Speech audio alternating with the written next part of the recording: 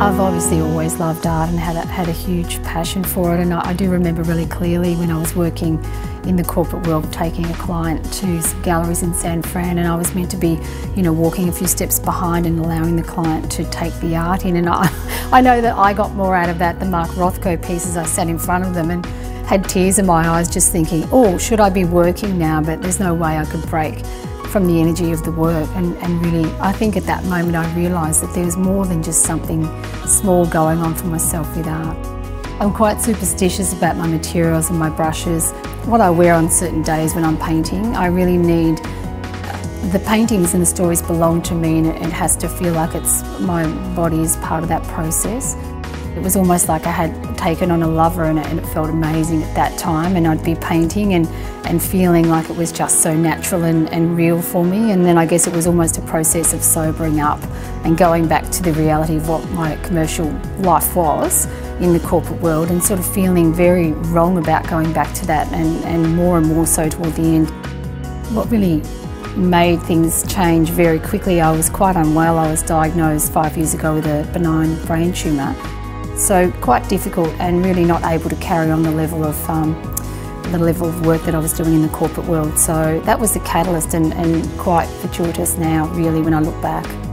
It was actually quite terrifying and, a big point in life where I think it, I cut my teeth on some harsh realities around what's important and, and how important it is to be yourself and uh, really just to step in, you know, and be my real self for the first time as an adult and do what I'm meant to do.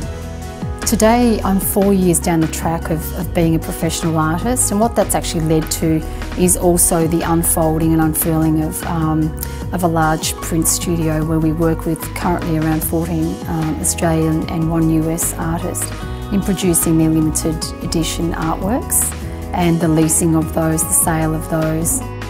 Art just brings another whole dimension and the people that we're talking with every day in terms of leasing and buying up for corporate spaces. It's beautiful to think that people are starting to understand that you have real humans working there and they need, they really need the energy from something that's quite beautiful and poetic in order to be human.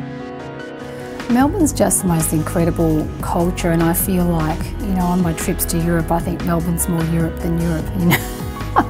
especially the coffee and the breakfast. But this city's riddled with art. It doesn't matter where you are in Melbourne, there's just art everywhere. And um, I think it's, it's the laneways, it's the restaurants, it's just the total vibe. And such an incredible group of painters that do live and work in Melbourne and we all get on very well. We collaborate, we catch up, we have you know drinks and meals. Um, it's, it's a very beautiful city to conduct an art business and have a practice in and I'm always really proud to tag everything I do with Melbourne, Victoria, Australia. It's just, um, it's just something I always do.